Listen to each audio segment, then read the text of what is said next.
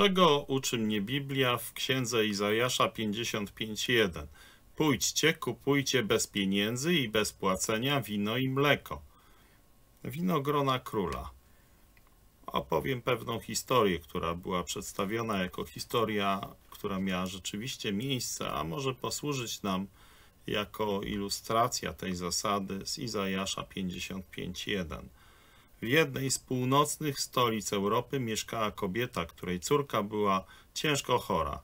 Dziecko było bardzo słabe i chciało dostać trochę winogron, ale w żadnym sklepie o tej porze roku nie można było ich kupić.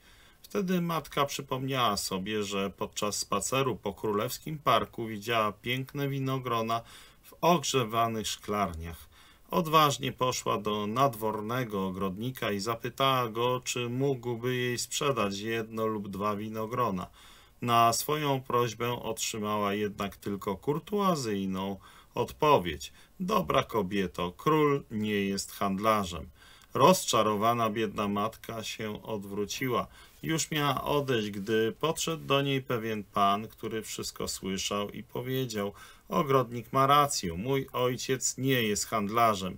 Nawet jeśli nie sprzeda swoich winogron, to i tak może trochę podarować. Książę wybrał wtedy kilka najlepszych winogron i uśmiechając się włożył je do koszyczka zdumionej kobiety. Ta historia ilustruje, że Bóg jest wielkim dawcą.